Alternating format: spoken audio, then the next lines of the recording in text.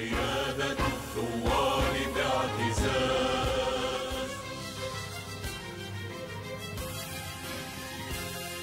أن العراقي الذي انطلق وفجر الشفق. شبل قد انبثق من العظام. من حشدنا الجبار. شبل قد انطلق. قذيفة بسرعة الضوء خطف رايته العراق تنفض الشرر وغاب في الصمت ومن ثم انفجر قذيفة. أصابت الهدى قذيفة بسرعة الضوء خطف رايته العراق. تنفض الشرر وغاب في الصمت ومن ثم انفجر قذيفة أصابت الهدى معجزة هذا الفتى العملاق.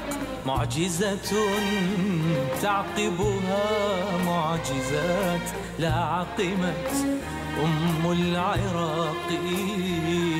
لا عقمت ولا الجرح مات معجزة هذا الفتى العملاق. معجزة تعقبها معجزات. لا عقمت أم العراق. لا عقمت. آه ولا الجرح مات وشيعت بغداد شبلها. الحديد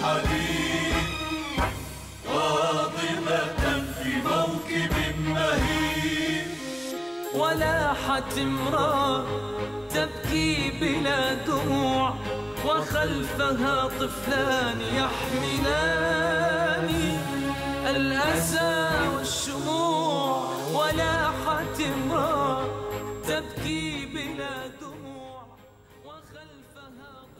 صباح العافية لكل من انضم لنا في صباح العراقية. اليوم راح نتعرف على الجديد من الأنشودة الوطنية الأنشودة العراقية. راح يكون ويانا الشاعر وليد الشطري لنتعرف على أكثر الأنشودة الوطنية في هذه الآونة. صباح الخير والعافية عليك. صباح الخير.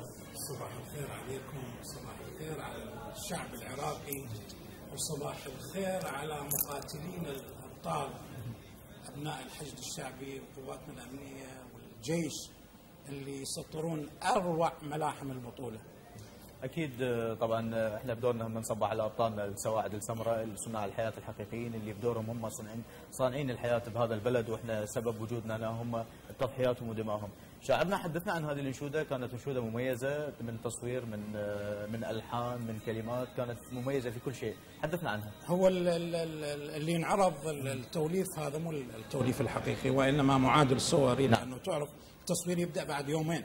يعني المخرج وديع نادر وراح يشارك بنخبة من كبار فناني العراق.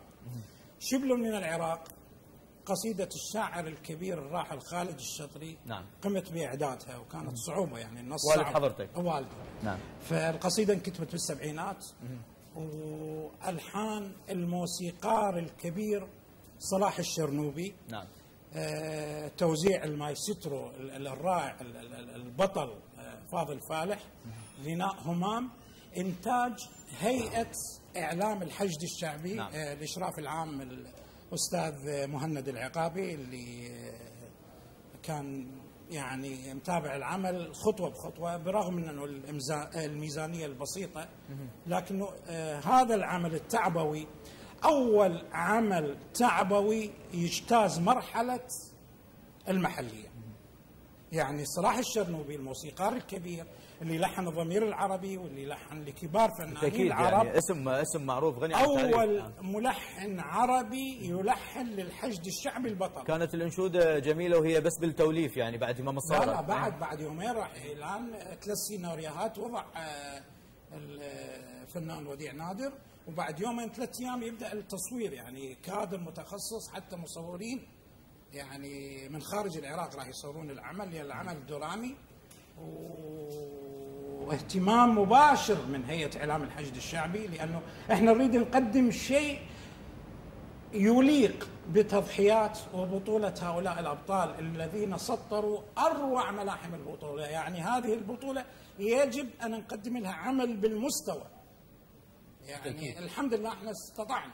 بالرغم من ال- ال- الميزانية البسيطة. يعني أنا تنازلت عن حقوق النص والفنان همام غنى بدون مقابل. والموسيقار الكبير يعني تحية إلى تقاضى ألف دولار صلاح الشرنوبي عن اللحن. يعني العمل استطعنا أن نقدم شيء للحشد ويستاهل الحشد. بالتأكيد يستاهل وكل ما. نقدمه نقطة في بحر أمام بطولات وتضحيات الحشد الشعبي. بالتأكيد. طيب نتكلم عن هذا العمل بما أنه حضرتك ذكرت الملحن الكبير صلاح الشربوني. آه، الشرنوبي. الشرنوبي سوري آه، كيف تم اللقاء والترتيب؟ والله أكون صريح معك يعني صعوبه يعني تحدي للمستحيل. لأن انت تنتج عمل ملحن مصري كبير. ال- الهمام سجل في في لبنان في استوديو طوني حداد. الموسيقى سجلت في بغداد. فهاي الشهر أنا كيف تم التجميع لها؟ التجميع لها أنه كان النص صعب. النص أنا يعني صعب جدا لأنه والدي ما بادي بهذه البداية واعلنت قيادته. إحنا أنا آه، يعني أخذت آه، فتوى. المرجعية. يعني فتوى المرجعية وأعلنت قيادة الثوار. يعني كأنما استمديت الدخول من فتوى المرجعية الجهاد الكفائي بيان واعلنت ماكو ما ما حد متطرق ال- ال- ال- ال- العمل هذا. يعني أنا أفتخر إنه قدمت عمل ولو صعوبة. واستشاريت استشاريت شعراء كبار. يعني خالد الشكر شاعر كبير. أنا أخاف أتخرب على شعر. يعني استشاريت ال- الشاعر الكبير يحيى السماوي. وقرأت له النص وتابع وغير مفردة بالنص. وجيه عباس أيضا. يعني صديقي وأخي أيضا. قلت الاستاذ وجيه رأيك. كانت ملاحظاته دقيقة ولازم تكون استشارات طبعاً لكن بالتأكيد. استطعنا أن ننجز عمل نفتخر به إن شاء الله نفتخر آه، بوجودكم نفتخر بجيشنا البطل وحشدنا طبعاً. الشعبي أكيد طبعاً. هؤلاء الأبطال وأكيد أنتم جهودكم مشكورة وكل ما تقدمونه من شعراء هذا اليوم اليوم دورنا هذا. الشاعر لازم يدلب دلوة والإعلامي لازم يدلب دلوة. اليوم حقيقة هو تسجيل المواقف على كل شخص أن يسجل موقفه. هو إذا تسمح لي. نعم تفضل. الإعلام 75% من ال- ال- النصر هو إعلام. العمل التعبوي مهم يعني أنا أكون صريح معك. إحنا كنا مخططين أن تغني ال- النشيد جوليا بطرس. لكنه ما عندنا إحنا انجزنا ال audio ب 5000 دولار. ماكو عمل ينجز ب 5000 دولار. ماكو. اتحدى تشوف التوزيع الموسيقي آلات وتريه مو keyboard. واضح. يعني ماكو هيج عمل. فأطالب أن يدعم أن تدعم المؤسسات الفنية وأن يدعم وأن تدعم هيئة إعلام الحشد الشعبي. الحشد الشعبي بإمكانياته البسيطة شباب رائعين يقدمون أعمال بروفيشنال أكيد يعني على كل كل المؤسسات إنه آه، تحذو حذو. أنا يعني أفتخر بأنه شبكة الإعلام العراقي كانت سباقه لا، قدمت، وسج- أنا قدمت للشبكة سجلت كبير. سجلت أكثر عشرات الأناشيد. الشبكة لها دور كبير. قدمت آه، للشبكة أنشودة سننتصر آخر عمل رغم التآمر والغدر. فالحشد عزم لا يلين والحشد فتوى المؤمنين. قدمنا محروس يا عراق قدمنا جريمة العصر. شاركنا بها مقدماً شاركتوا بها. نعم، أكيد. أي آه، جريمة العصر اللي وثقنا بها جريمة سبايكر هاي كلماتي أكيد هذا كان إنتاج العراقية قدمناها إنتاج العراقية قدمناها للعراق. العراق معك. عندنا كل شيء أنا الجيش أيضاً- والحشد يستاهلون أنا قدمت انشوده بغداد. قصيدة والدي ألحان وغناء الملحن الكبير مهند محسن. هدية هذا ترى ما تقاضيت منه شيء. الله أكبر يا عراق الثائرين هدية. إرادة الحياة هدية كانت ميزانيتها مليون. لا حد يتصور أنه أنا أقدم من أجل المادة. لا أنا سبع أعمال ميزانيتها 17 مليون دينار وهذا مثبت. وما أتحدى خاف أحد يقول إنه وليدي تاجر أو يستفيد ماديا. لا أنا حتى هذا العمل فقط التذكرة تذكرة السفر دفاعها الحشد فقط. نعم طيب.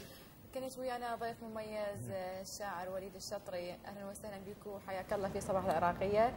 وإن شاء الله نلتقيك من الأفضل إلى الأفضل بأعمال جديدة. تحياتي لكم وتحياتي لشبكة الإعلام العراقي. إن شاء الله يكون لنا لقاء آه، بعد أن. تصور آه، هذه الأنشودة. وإن شاء الله يمكن هذه الأنشودة تبث آه، يعني إحنا نتمنى أنه من لا، خلال برنامج شبكة الإعلام من خلال برنامجنا حصرا. طبعا. وتكون أنت ضيف حضرتك موجود. صح. شكرا لك كنت كنت ضيف مميز حقيقة. شكرا لك. تحياتي.